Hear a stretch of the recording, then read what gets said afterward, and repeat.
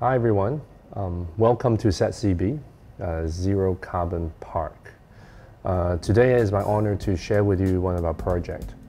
The project was set out to achieve a few uh, primary objectives. I think first of all is to talk about how Hong Kong can achieve a zero carbon uh, building. This is the south side.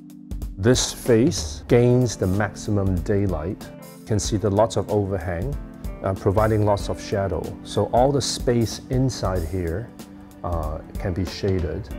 And on the back side, this is the north side of the building, which is have high windows. So the window is large and big, so they allow more daylight, northern light coming into the space. So here, what we have here are inverters.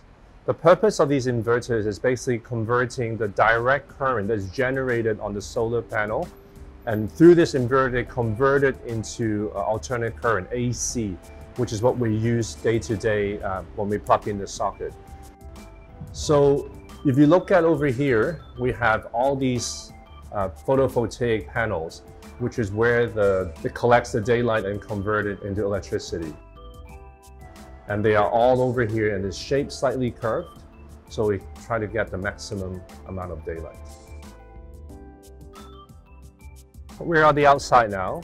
Um, this is what we call a stormwater cooling combining with the solar panel to provide the energy to uh, create uh, cold water, chilling water to cool the building. So it uses the stormwater we collected and that become the water body that can cool and then the solar panel on top of here will provide the, uh, the air conditioning system to power so that it can create uh, cool air for the building behind us. So right now we're in one of Hong Kong's first urban woodland that is filled with native species. Um, there is uh, 135 trees here, uh, over 40 species, and they're all native species. We planted this as part of the garden park environment where the building sits in the back. And you can see now it has lots of daylight on the building. And this part is in the shade a little bit because of the surrounding buildings.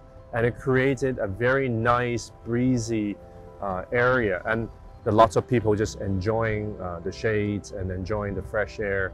And I think part of the process when we designed this is to create an environment as best not just for the people inside the building, but people that lives around the building. So this can be a nice community space. So right now behind me is a water storage area where the rainwater will come down, get filtered by this area, and will be used for irrigation for the park and for other non-drinking purposes.